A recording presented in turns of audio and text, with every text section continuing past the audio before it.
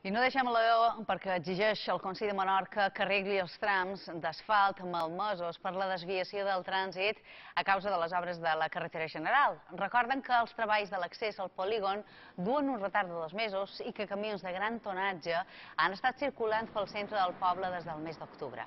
Això perjudica en la fluidesa del trànsit i també en el manteniment de la carretera. La Batlessa ha criticat la manca d'informació sobre el calendari de les actuacions i també lamenta el perjudici econòmic que el tancament d'aquest accés causa al municipi.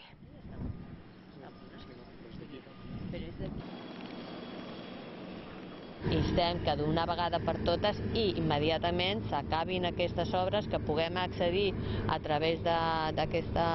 rotonda, que puguem accedir a l'O, que se, reinici una altra vegada la circulació normal i que, per favor, des del Consell, que es facin càrrec de tot el que ha sigut els danys que s'han ocasionat